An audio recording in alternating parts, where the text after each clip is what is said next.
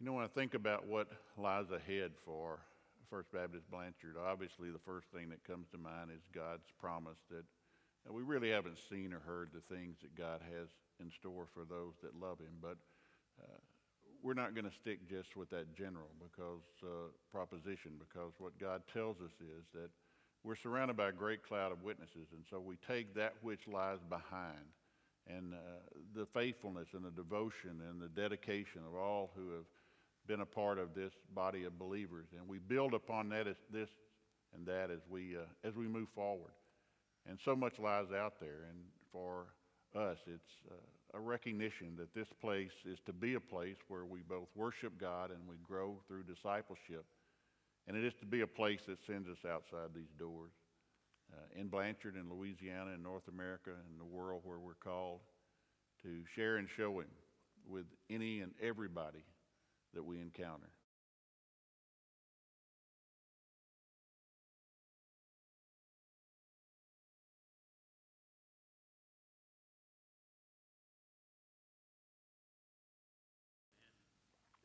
We live by words.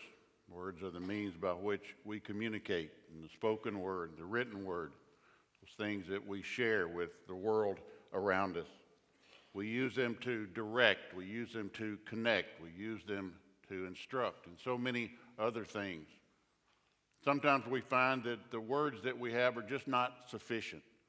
We simplify it by saying our words are just not enough.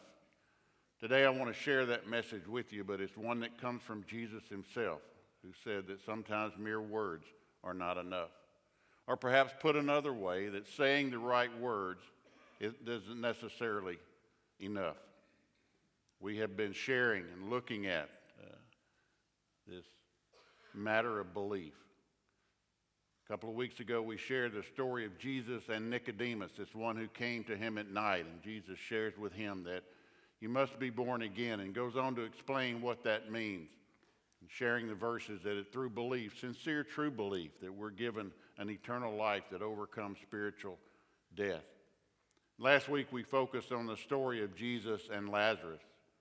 Dear friend of his, he goes, Lazarus is dead. He's met by Martha. And Martha says, if you'd have been here, he wouldn't have died. He said, well, he'll live again. Martha thought he meant the resurrection at the last day, and Jesus took that comment, that opportunity to share with her, No, I am the resurrection and the life. If you believe in me, you'll never die. And he asked Martha the all important question Do you believe this? And we talked about that belief and what it means, and most importantly, that it's not simply acknowledging the existence of Jesus Christ, placing our faith in Him as the Son of God. It's acknowledging Him as Lord of our life.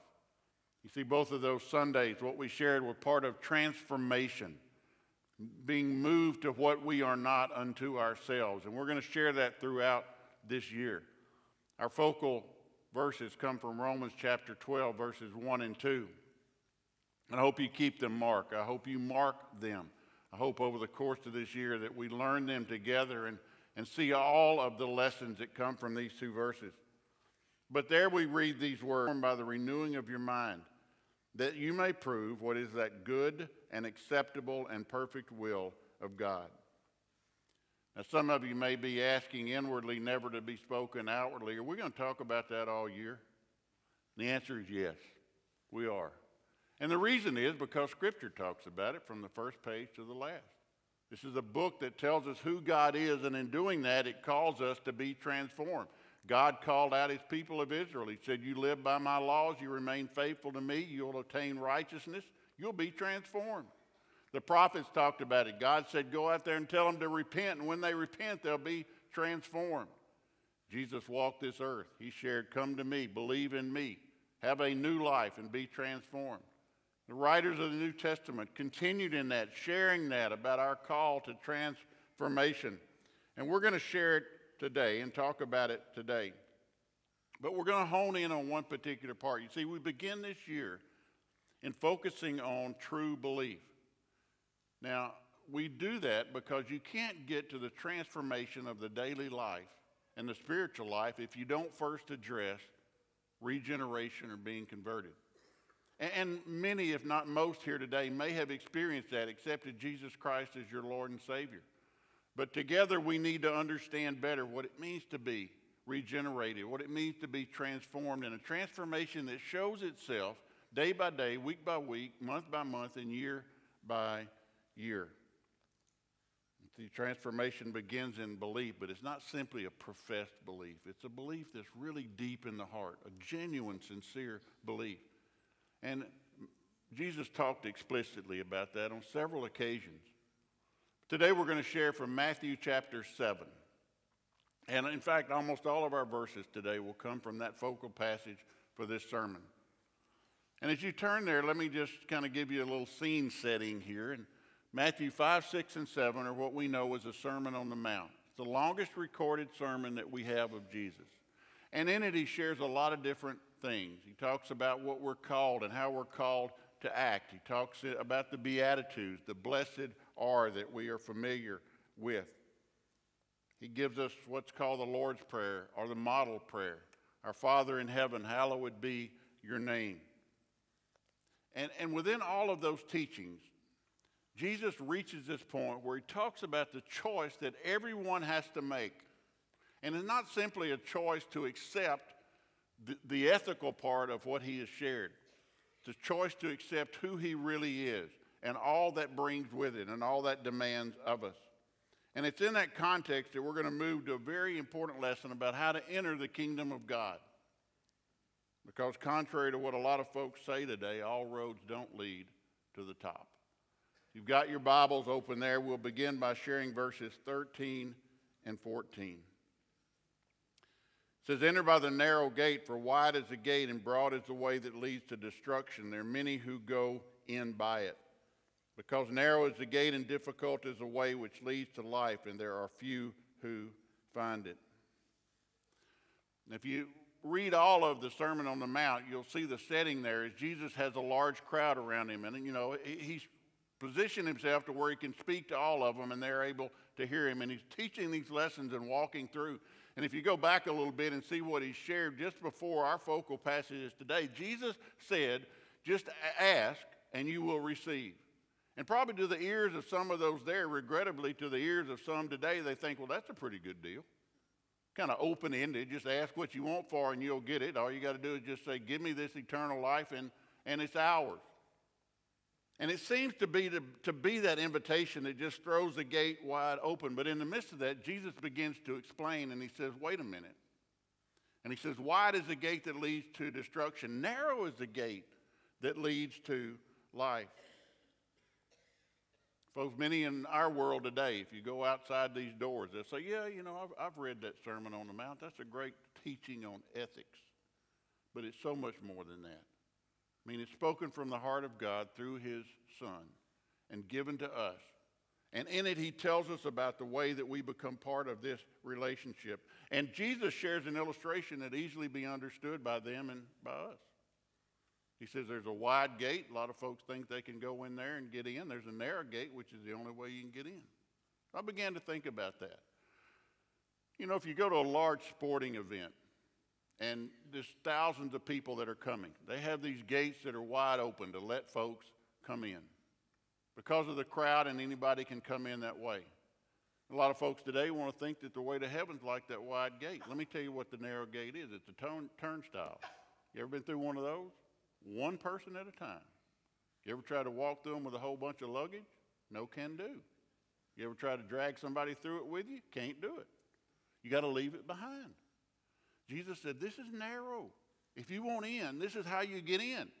You got to leave self behind. You got to leave all your luggage behind. You got to leave anything that takes precedent over me behind.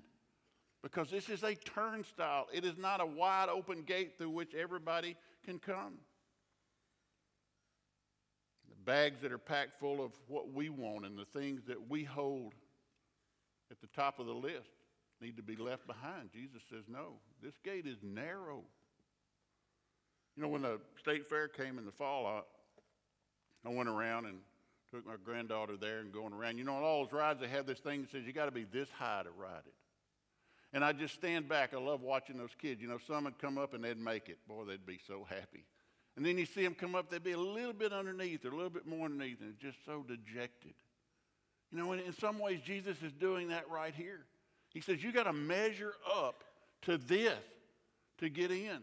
These standards don't get lowered. You can't talk your way into being at this point. They are constant, and if you don't have them, you don't get in. And here he's sharing what it takes to get into the kingdom of God.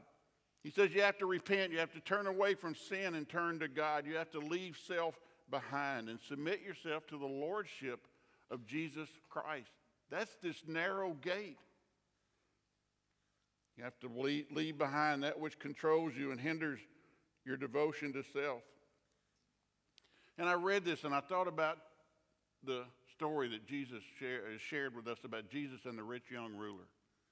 I got to tell you, folks, that's one of the mi- most mispreached sermons ever. You know, the rich young ruler came to him and he says, You got to sell whatever you want, give to the poor. You know how it's preached today? You got to be willing to sell what you have and give the. That's not what it says. He told him to go sell it. He didn't say, I want you to be willing to sell it. He said, Get rid of it because it's holding you down and keeping you from being what you have to be to be part of the kingdom of God. And here he does that again when he shares this narrow gate. But that's not what our culture wants to hear. They want a gospel of self indulgence, a gospel that condones and not condemns. They want to feel good, an hour a week devotion, and a message that says all roads lead to the top. I've shared with you before that during our time in Colorado, Marsh and I were part of the search and rescue. Now, I want to tell you, on my bucket list, there's never been nor will there ever be a line that says, I want to be a mountain climber. I don't like it. In fact, I was the radio operator. I like down here. But I was around a lot of mountain climbers. And we sent up a lot of crews. And I mean, I, I was around them when they just said, hey, let's go climb a 14,000 foot mountain today. And they'd lay their maps out and they would look at them and they would figure out how to do it. Let me tell you what I never heard. I never heard any of them say, Tell you what, you go over there, I'll go over here, you go over there, we'll all end up at the top. Nobody said, It doesn't matter which way you go, just head out up there, you'll get there. They knew that there was a safe route, a sure route that had to be taken. And often on some of those mountains, there was one way, and that was it. And regrettably, there were those who decided, I'll make my own way, I'll go another way. And we brought a lot of them down. They thought that all ways, all roads would get them to the top. And in our world today, there's a lot of folks that still think that. They like that I'll do it my way gospel and to make it fit. But notice what Jesus says. He says, Wide is the gate that leads to destruction. If you read, look at the Greek word for destruction, it means total loss and doom, ruin. It is eternal separation from God. That's the finale of all of this It's being totally separated from God. And, and, you notice he didn't say there's a whole bunch of gates out there and you can work your way down. He said there's two. That's it. There's a wide gate that'll lead you to destruction, the narrow gate that leads you to life through me. Folks, there's a lot of preachers out there who don't preach about the narrow gate. Let's read a little bit further, continuing in verse 15. Beware of false prophets who come to you in sheep's clothing, but inwardly they are ravenous wolves. You'll know them by their fruits. Do men gather grapes from thorn bushes or figs from thistles? Even so, every good tree bears good fruit, but a bad tree bears bad fruit. A good tree cannot bear bad fruit, nor can a bad tree bear good fruit. And every tree that does not bear good fruit is cut down and thrown into the fire. Therefore, by their fruits you will know them. Not by coincidence, Jesus moves from talking about this narrow gate to those who preach something different.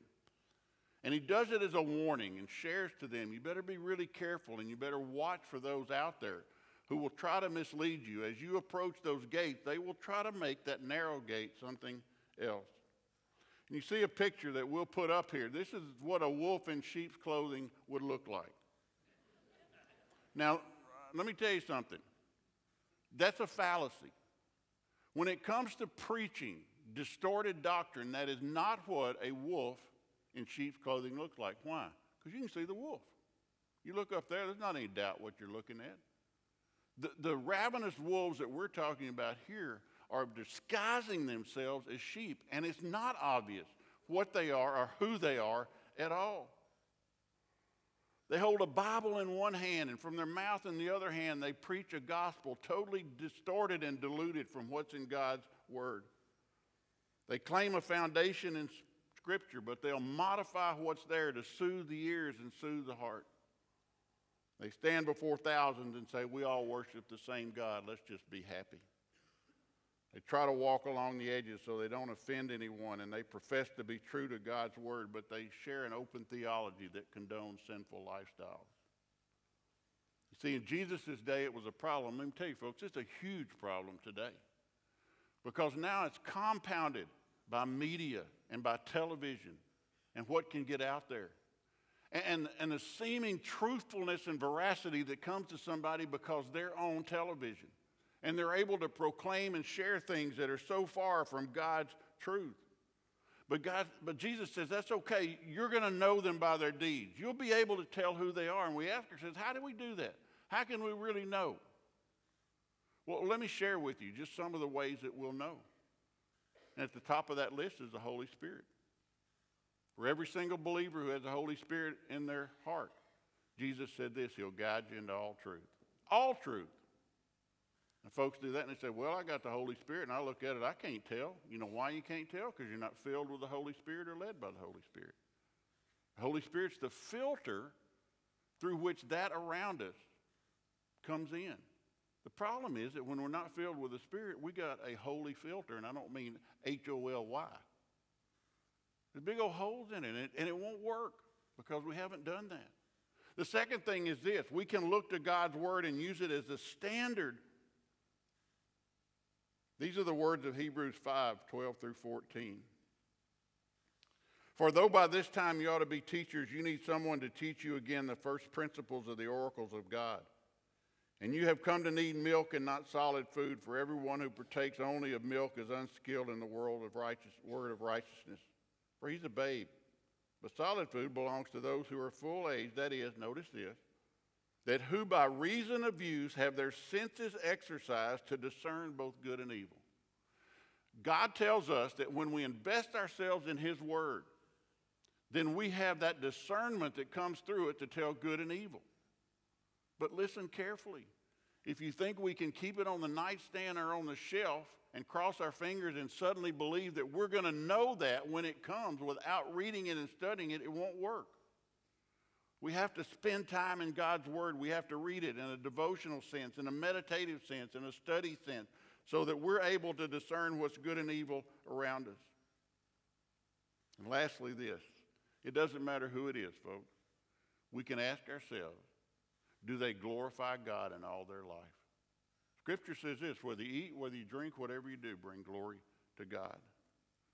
And I will tell you, if a preacher is more interested in putting his picture on the front of a book and telling you that every day can be a happy day, you better beware. You know, if you check Jesus, he went out among the people. He healed the lame and the blind and the sick.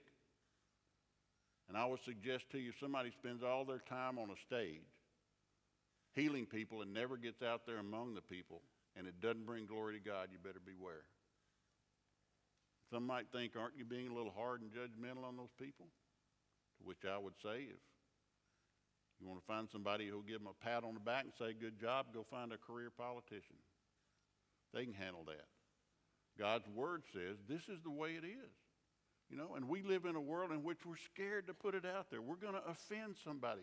Can you imagine if Jesus had these crowds out there and they're listening attentively, and you've got Jewish leaders who are waiting, waiting for a way to get him and he stares into their face and says, Wide is the gate that leads to destruction, but narrow is the way that leads to life. And he says, I'm the way. I'm it. I'm the only way that you get there. You see, Jesus was telling them that not all words measure up. Our last verses are from Matthew 7 21 through 23. Not everyone who says to me, Lord, Lord, shall enter the kingdom of heaven, but he who does the will of my Father in heaven. And many will say to me in that day, Lord, Lord, have we not prophesied in your name, cast out demons in your name, and done many wonders in your name? And then I'll declare to them, I never knew you. Depart from me, you who practice lawlessness. Jesus never one time lowered the standards, folks. And I will tell you, The standards of the Bible are very high. They are set. And they're often not what the world wants to hear. But we can't bring them down to our level. We can't reduce them from what God has given to us.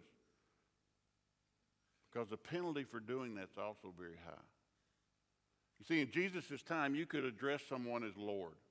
And it was a matter of respect and honor, but it often went to government officials or to religious leaders.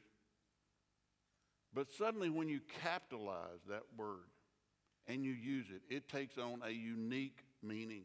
It refers to Jesus Christ Himself. And many will make reference to Lord, but not in the sense of His true nature and not in the sense of submission and obedience to who He is and what He tells us to do. And throughout the Bible, we see those who profess one thing with their mouth and believe another thing in their heart. But Jesus knows the heart. We may be able to fool the world, but we can't fool Jesus. You see, in the Sermon on the Mount, Jesus referred to those who were calling upon their, their deeds for sufficient belief. And if you read this, one of the surprising things is there's nothing in here that said they didn't do that. Nothing that said they didn't prophesy in some form, do the other things. We don't really know. But we do know that Jesus said it won't get you into heaven. Instead, he said they were not sufficient because what was practiced on the outside was not true belief on the inside. And you see, folks, here he gives the most serious and sincere call for belief. This is not a, a, a statement by Jesus to say, ha ha, all of you are out. It's a statement by Jesus to say, you can get in. But this is the only way to be a part of it.